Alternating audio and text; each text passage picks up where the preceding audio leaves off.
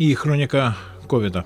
В Украине за последние сутки заболело 20 тысяч 50 человек. По этому показателю мы на восьмом месте в мире. Умерших у нас по-прежнему очень много. Мы на третьем месте. 725 украинцев за последние сутки. Впереди нас только Россия и США. В Европе средний показатель смертности тоже увеличился на 5%. Подарунки для вакцинованих роблять не тільки в Україні. Велика проблема з антиваксами у США, тому не дивно, що ця країна також стимулює своїх громадян вакцинуватись. Втім, тут йдеться не про загальнодержавні, а про локальні ініціативи. Хоча Білий Дім цю ідею теж підтримав.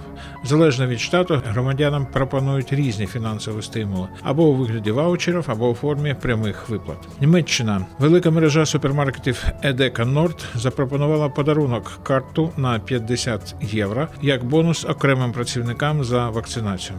В Грузії кожному пенсіонеру, який буде вакцинований до 1 січня, уряд пообіцяв одноразову доплату до пенсії в розмірі 200 ларі, що еквівалентно 63 доларам США. У Літві парламент підтримує рішення уряду, що передбачає виплату 100 євро людям від 75 років, якщо вони вакцинуються до 1 грудня. Статистика: 96,5 померлих від ускладнень COVID-19 з 1 серпня по 31 жовтня 2021 року були не щеплені двома дозами вакцин. 94,3 госпіталізованих з діагнозом COVID-19 за цей же період не пройшли повний курс вакцинації, повідомляє Міністерство охорони здоров'я.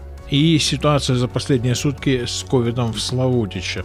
Новых случаев заболевания за последние сутки 39. Контактных особ 291 человек. Всего заболело в Славутиче 2649 славучан. И, к сожалению, умерло уже 28 славучан. И график вакцинации в Славутиче на ближайшее время.